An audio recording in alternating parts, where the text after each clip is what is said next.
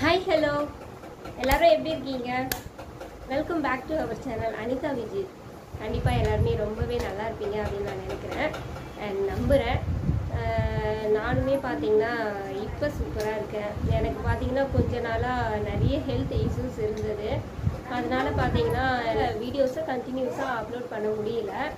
So very sorry for that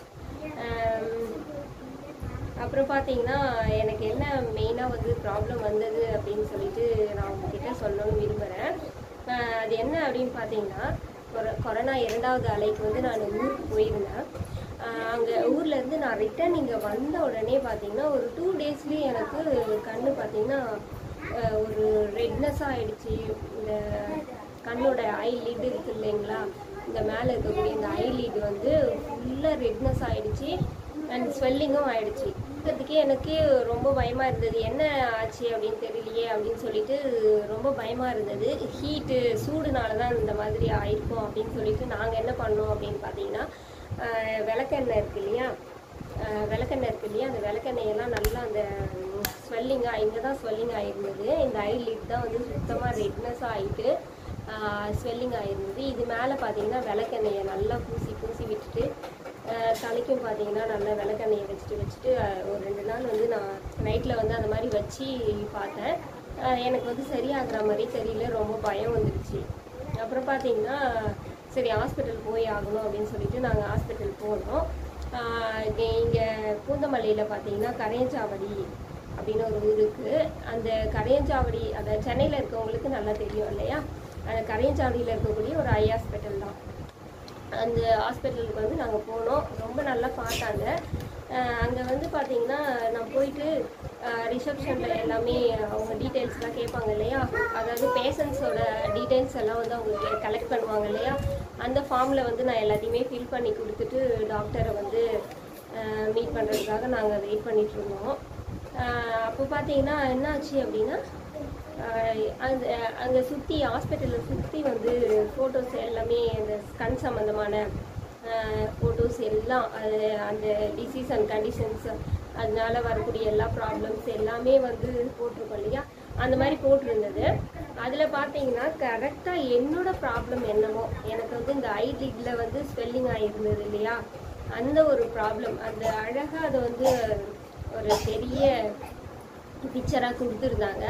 so என்னதான் நம்ம போய் தெரிஞ்சுக்குவோம் டாக்டரை பார்க்கறதுக்கு முன்னாடி நம்ம வந்து அதை பார்த்து என்னன்னு தெரிஞ்சுக்கோம் அப்படின்னு சொல்லிட்டு நான் அதை கிட்ட போயிட்டு படித்தேன் அப்போ பார்த்தீங்கன்னா இந்த மாதிரி நம்மளோட கண்ணோட ஐ லீட்டு வந்து ஸ்வெல்லிங் ஆயிடுச்சு அப்படின்னா அதுக்கு பேர் வந்து ட்ரக்கோமா சரிங்களா? அந்த கண்ணோட லீட் ஸ்வெல்லிங் ஆயிடுச்சு ரெட்னஸ் ஆயிடுச்சு. நல்லா ரெட்னஸ் ஆயிட்டு ஸ்வெல் ஆயிடுச்சு அப்படின்னா அந்த ஒரு டிசீஸ் கண்டிஷனுக்கு பேர் என்ன அப்படின்னா ட்ரக்கோமா அப்படின்னு சொல்லிட்டு போட்டிருந்தது. இது பார்த்தீங்கன்னா ஒரு செவரல் வீக்ஸ் இருக்கும். அதுக்கப்புறம் கண் பார்வையே வந்து குறையும் அப்படின்னு சொல்லிட்டு போட்டிருந்தது. எனக்கு ரொம்ப பயமாக இருந்தது. என்னடா இது? கண் பார்வை இல்லைன்னா நம்ம என்ன பண்ணுறது நம்மளால பார்க்க முடியலன்னா என்ன தான் பண்ணுறது அப்படின்னு சொல்லிட்டு எனக்கு ரொம்பவே ஒரு ஃபியர்னஸ் ஆகிடுச்சி ஓகே நான் கண்டிப்பாக ஏதாவது நமக்கு ட்ரீட்மெண்ட் பண்ண தானே போகிறாங்க அப்படின்னு சொல்லிட்டு நான் வெயிட் பண்ணிட்டு இருந்தேன். உடனே என்னோட நேம் வந்து கூப்பிட்டாங்க. போனோடனே டாக்டர் வந்து உட்கார வச்சுட்டு அவங்க நைட்டு வந்து நம்மளோட கண்ணில் அடித்து செக் பண்ணுவாங்க இல்லையா? மேலே கீழே எல்லாம் பார்க்க சொல்லி நமக்கு நம்மளோட விஷன் பவர் எப்படி இருக்குது அப்படின்னு சொல்லிட்டு அவங்க செக் பண்ணுவாங்க. நம்மளோட கண்ணோட கண்டிஷன் எப்படி இருக்குன்னு சொல்லிட்டு அவங்க பார்த்தாங்க. பார்த்துட்டு நமக்கு எந்த அளவுக்கு கண் வந்து சரியாக நம்மளோட பவர் வந்து எப்படி இருக்குது நம்மளால் எந்த அளவுக்கு பார்க்க முடியுது அப்படின்னு சொல்லிட்டு செக் பண்ணுறதுக்காக நம்பர்ஸ் எல்லாம் ஒரு குறிப்பிட்ட லென்த்தில் வந்து நம் அதாவது இங்கே ஒரு குறிப்பிட்ட தூரத்தில் சரிங்களா? நம்பர்ஸ் எல்லாம் வந்து எழுதி வச்சுருப்பாங்க. அதாவது டிசெண்டிங் ஆர்டரில் டிசெண்டிங் ஆர்டரில் வந்து நம்பர்ஸ் வந்து எழுதிட்டுருக்கோம் மேலே இருக்கிற நம்பர்ஸ் எல்லாமே பார்த்தீங்கன்னா ரொம்ப பிக்காக இருக்கும். அதாவது பெரிய நம்பர்ஸ் இதுக்கு இதுக்கு அதை விட சைஸில் சின்னது சின்னதாக வந்து கீழே வந்து ரொம்ப சின்னதாக இருக்கும். சரிங்களா? இப்போ அந்த மாதிரி டிசெண்டிங் ஆர்டரில் நம்பர்ஸ் வந்து எழுதிட்டு அந்த கடைசி லைனில் இருக்கக்கூடிய அது வந்து அந்த நம்பர் வந்து ரொம்பவே சின்னதாக இருக்கும். அது பார்த்தீங்கன்னா என்ன என்ன சொன்னாங்க அப்படின்னா டாக்டர் இந்த கண்ணை இந்த கண்ணை வந்து க்ளோஸ் பண்ணிவிட்டு இப்படி வந்து என்னை பார்க்க சொன்னாங்க. நான் இப்படி க்ளோஸ் பண்ணிவிட்டு நான் அந்த நம்பரை வந்து பார்த்தேன். எனக்கு அந்த கண்ணில் வந்து சுத்தமாக தெரியல. அதாவது ஏதோ அங்கே எழுதிட்டுருக்கிற மாதிரி எழுதிருக்கிற ஒரு சிம்பிள் தெரியுது. ஆனால் அது என்ன அப்படின்னு சொல்லிட்டு என்னால் கெஸ் பண்ண முடியல. அப்புறம் இந்த கண்ணை க்ளோஸ் பண்ணிட்டு இதில் நான் பார்த்தேன். இதில் பார்க்க சொன்னாங்க. இதில் பார்த்தீங்கன்னா அவ்வளோ கிளியராக தெரியுது. டாக்டர் வந்து நான் உங்களுக்கு வந்து ஒரு ஆயில்மெண்ட் கொடுக்குறேன். அதுக்கப்புறம் ஒரு சில டேப்லெட்ஸும் கொடுக்குறேன். அதை நீங்கள் கண்டினியூவாக எடுத்துக்கோங்க. சரியாயிடும் அப்படின்னு சொன்னாங்க. எதனால தான் வருதுன்னு சொல்லிட்டு டாக்டர் கிட்ட ஒரு அவர் என்ன சொல்கிறாரு அப்படின்னு தெரிஞ்சுக்கலாம் அப்படின்னு சொல்லிட்டு நானாக வந்து கேட்டேன். சார் இந்த மாதிரியான ப்ராப்ளம் எதனால வருதுங்க சார் அப்படின்னு கேட்டதுக்கு அவர் சொன்னார். ஒன்றும் இல்லைங்க மேம் நீங்கள் தேய்ச்சி விட்டீங்களா? கண்ணு வந்து உங்களுக்கு ஏதாவது இங்கே இரிட்டேட் ஆகுற மாதிரி இருந்தது அப்படின்னா கண்ணை வந்து சும்மா வச்சு தேய்க்கக்கூடாது அது ஒரு ப்ராப்ளம் அதுக்கப்புறம் டஸ்ட்னால எலக்ட்ரானிக் டிவைசஸை அதிக நேரம் வந்து நீங்கள் உபயோகம் பண்ணுறதுனால அதிக நேரம் நீங்கள் யூஸ் பண்ணுறதுனால உங்களுக்கு வந்து இந்த மாதிரி ஐ பவரில் வந்து ப்ராப்ளம் வருது. கண் வந்து நிறைய ஹீட் ஆகிடுது ஸோ தூக்கம் இல்லாதது எலக்ட்ரானிக் டிவைசஸை வந்து அதிக நேரம் வந்து யூஸ் பண்ணுறது டஸ்ட்டு அதுக்கப்புறம் பார்த்தீங்கன்னா நீங்கள் உங்களுக்கு இரிட்டேட் வந்தது அந்த இடத்துல வந்து ஒரு இச்சிங் இருந்தது அப்படின்னா நீங்கள் உடனே நல்லா தேய்ச்சி விட்டுருப்பீங்க இல்லையா? அந்த மாதிரி தேய்க்கக்கூடாது அப்படின்னு சொல்லிட்டு இதெல்லாம் வந்து எக்ஸ்ட்ராவாக எனக்கு சொன்னார். இந்த ட்ரக்கோமா அப்படின்ற ஒரு இன்ஃபெக்ஷன் வந்து இந்த மாதிரியான ப்ராப்ளம்ஸ்னால வந்து மெயினாக வருது. இதனால வந்து கண் பார்வையே வந்து போகுது. ஸோ அதனால் என்னோட அட்வைஸ் என்ன அப்படின்னா என்னோட அனுபவத்தில் அதிக நேரம் வந்து ஃபோனை உபயோகப்படுத்துறது வந்து அவாய்ட் பண்ணணும். சரிங்களா? தேவையில்லாமல் இப்போ வந்து எல்லாமே வந்து ஃபோனில் தான் இருக்குது இப்போ இருக்கிற காலகட்டத்தில் பிள்ளைங்களுக்கு எல்லாமே ஆன்லைன் கிளாஸ் எல்லாமே இதில் தான் அப்டேட் பண்ணுறாங்க எல்லாமே நம்ம இதை தான் பார்க்க வேண்டி இருக்குது அந்த ஒரு சூழ்நிலையில் நம்ம இருக்கிறதுனால ஸோ என்ன பார்க்கணுமோ அதை பார்த்துட்டு என்ன செய்யணுமோ அதை செஞ்சுட்டு நம்ம மற்ற நேரம் வந்து ஃபோனை ரெஸ்ட்டில் வச்சிடணும். நாமளும் வந்து ரெஸ்ட் எடுக்கணும் அப்படின்றது என்னோட தாழ்மையான வேண்டுகோள் அப்படின்னு சொல்லிக்கலாம்.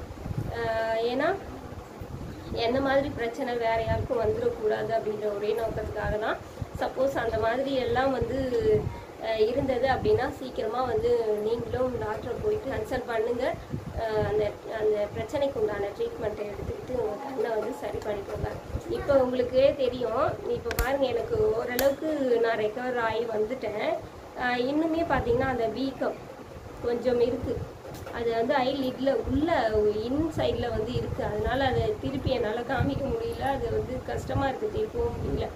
அது இன்னுமே கொஞ்சம் அந்த ஸ்வெல்லிங் இருந்துட்டு தான் இருக்குது ஸோ அது திரும்பவும் வந்து வர சொல்லியிருக்காங்க. நான் திரும்பவும் போவேன். போவேன் ஸோ அதுக்கப்புறம் அவங்க என்ன ட்ரீட்மெண்ட் கொடுக்குறாங்களோ அதை வந்து நம்ம ஃபாலோ பண்ணோன்னா கண்டிப்பாக ரெக்கவர் ஆகிடுவேன் இது கிளாமிடியே ட்ரக்கோமேட்டிஸ் அப்படின்ற ஒரு ஆர்கானிசம் தான் வந்து இந்த ட்ரக்கோமாவை வந்து உண்டு பண்ணுது. சரிங்களா? ட்ரக்கோமா அப்படின்ற ஒரு இன்ஃபெக்ஷன் எந்த ஒரு ஆர்கானிசத்தினால வருது அப்படின்னு பார்த்தீங்கன்னா கிளாமிடியே ட்ரக்கோமேட்டிஸ் ஓகேவா இது பார்த்தீங்கன்னா ஒரு செவர் செவரல் வீக்ஸ் இருக்கும். நம்மளோட கண்ணில் வந்து இச்சிங் இருக்கும். ரெட்னஸ் ஆகும். அதுக்கப்புறம் ஸ்வெல்லிங் ஆகிடும் அதுக்கப்புறம் பார்த்தீங்கன்னா நமக்கு கண்ணே வந்து அப்படியே மூடிக்கிற மாதிரி சுத்தமாக நம்மளால் ஓப்பன் பண்ணவே முடியாது. இந்த மாதிரியான பிரச்சனை எல்லாம் வந்து நமக்கு வருது. இந்த மாதிரிலாம் நமக்கு ஆகக்கூடாது அப்படின்னா நம்ம என்ன பண்ணணும் அப்படின்னா ரெகுலராக ஆல்ரெடி சொன்னது தான் வீக்லி ஒன்ஸ் வந்து நல்லா ஆயில் மசாஜ் பண்ணி நம்ம குளிக்கணும். ரெகுலராக நம்ம விளக்கெண்ணெய் அந்த மாதிரி ஆயிலெலாம் வந்து யூஸ் பண்ணணும். நிறைய நேரம் வந்து இந்த எலக்ட்ரானிக் டிவைசஸ் அதாவது TV phone laptop sorry TV phone computer இதெல்லாம் வந்து ஒரு குறிப்பிட்ட நேரம் பாருங்கள் அதுலேயே வேலை இருக்கவங்க அதுக்கேற்ற மாதிரி வந்து டாக்டரை கன்சல்ட் பண்ணி அவங்க கொடுக்குற அந்த ஸ்பெக்ஸ் எல்லாம் வந்து யூஸ் பண்ணிக்கிட்டு அந்த மாதிரியெல்லாம் வந்து நம்மளோட காலங்களை வந்து நம்ம கடத்தலாம். ஓகே இந்த வீடியோ வந்து உங்களுக்கு ரொம்பவே யூஸ்ஃபுல்லாக இருந்திருக்கும் அப்படின்னு நான் நினைக்கிறேன். இந்த வீடியோ உங்களுக்கு பிடிச்சிருந்தது அப்படின்னா கண்டிப்பாக லைக் பண்ணுங்கள் ஷேர் பண்ணுங்கள் கமெண்ட் பண்ணுங்கள் மறக்காமல் சப்ஸ்கிரைப் பண்ணி வச்சுக்கோங்க. அடுத்த ஒரு சூப்பரான வீடியோவில் நான் உங்களை சந்திக்கிறேன். அது வரைக்கும் உங்ககிட்ட இருந்து விடைபெறுவது நான் உங்கள் Anitha Vijay okay Thank you for watching. Bye bye.